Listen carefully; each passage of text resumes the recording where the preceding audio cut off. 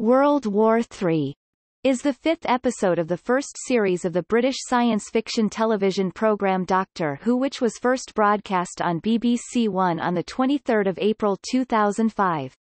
It is the second of a two-part story which began with Aliens of London on 16 April.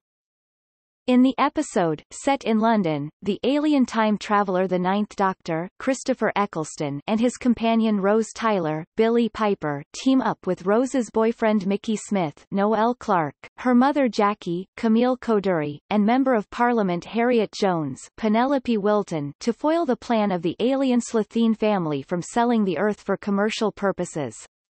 The Slitheen, who have infiltrated the government of the United Kingdom, plan to get the United Nations to release nuclear activation codes so they can trigger World War III on Earth and sell the remains.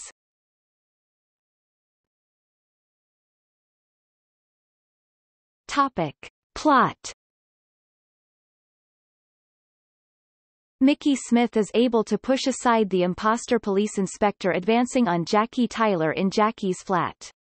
Escaping the electrical pulse of the Slitheen in 10 Downing Street, the Ninth Doctor attempts to get the police, but by the time he has returned the Slitheen get back into their suits.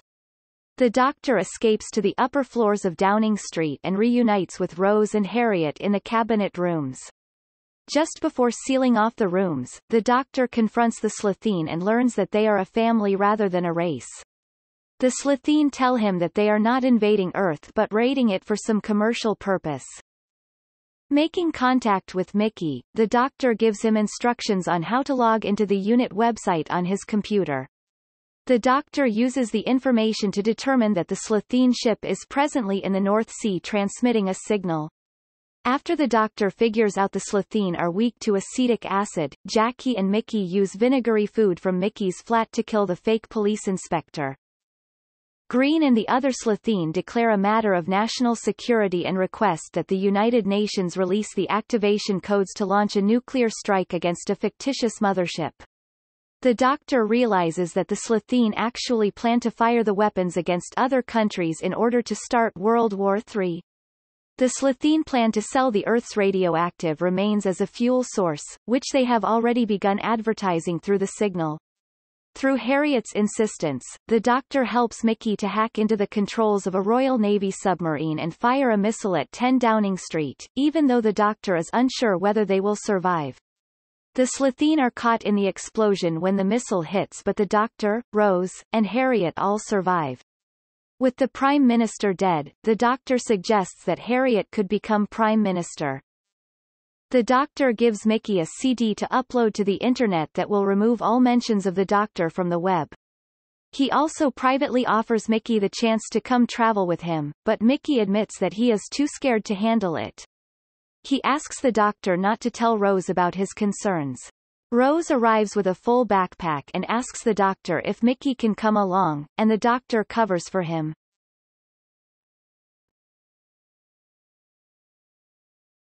Topic. Production According to Russell T. Davies among others, this episode was called Aliens of London, Part 2, until the last minute, when the name was changed to World War III, soon amended to World War III. The Telos Publishing Limited. Book back to the Vortex cites 10 Downing Street as another working title, this decision has proved to be a precedent, as in the original series all multi-episode stories shared a title from The Savages onwards. All multi-episode stories in the new series have continued to have individual titles except The End of Time.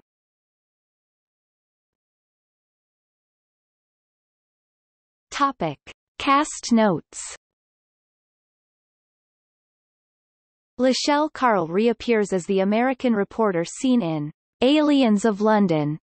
She is later seen in The Christmas Invasion, The Sound of Drums, The Poison Sky, Turn Left, The Stolen Earth, and the Sarah Jane Adventures story Revenge of the Slitheen.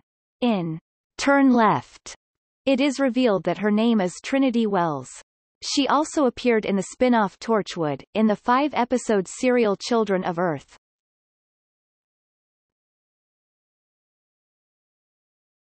Topic. Broadcast and reception World War III received a final rating of 7.98 million viewers in the United Kingdom, like the first part of the story. World War III has received generally mixed reviews. Arnold T. Blumberg of Now Playing gave the episode a grade of C+, finding it slightly better than Aliens of London, because it minimized the juvenile humor associated with the Slitheen and had good performances by the actors portraying them, though some of the effects were lacking. He criticized the direction and thin resolution of the unit missile operated from a home computer, but he praised the storyline with Rose's family, highlighting the performances of Clarke and Coduri.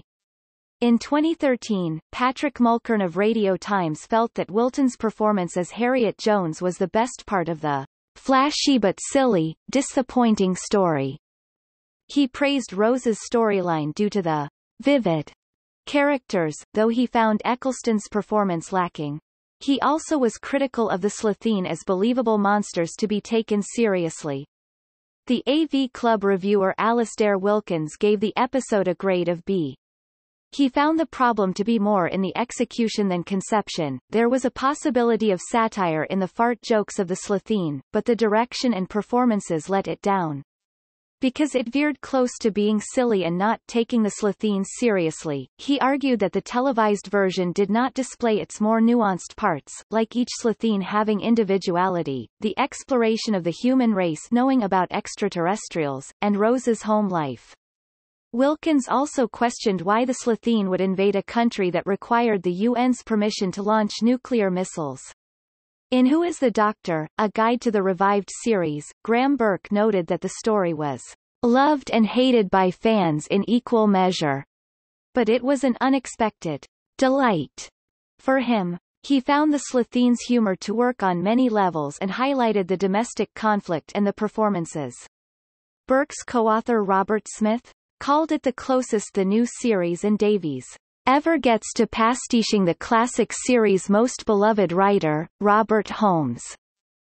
He also praised the domestic situation, though he found the political satire one note and the direction disappointing. World War III he described as slight on plot with improbable internet-ready missiles, but the ending was still wonderful and Eccleston's performance of the more serious material sold the episode.